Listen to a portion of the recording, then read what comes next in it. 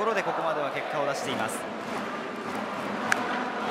逆方向への当たり左中間に伸びていって伸びていって割っていきました。ワンバウンドしてフェンスに到達。さあこのところ好調。ここ5試合は3割を超えていた吉川ですが逆方向へのツーベースヒット。先頭が出ましたこの回のジャイアンツです。この吉川のバッティングですが逆方向。いうバッティングいかがでしょうか？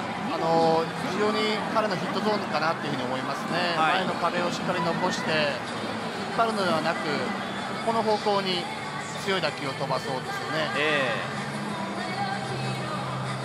まあ、少し体勢を崩されながらでもありましたが。出てきちゃってたんですけど、えー、やっぱこう打ってる時って多少ね曲がりおっと。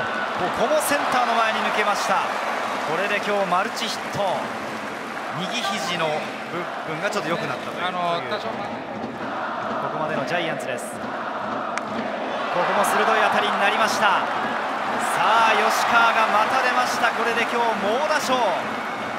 素晴らしいリードオフマンここにあり。吉川今日3本目のヒット。そして梶谷も三塁まで進みました。に行ったんですけどね、はい、まあ、理想っていうかイメージ通りのバッティングができたんじゃないかなっていうふうに思いますけどね。はい。まあ、非常にリードオフマンあちょっとセンターの岡林が今バランスを崩して転倒しているリプレイもご覧いただきました。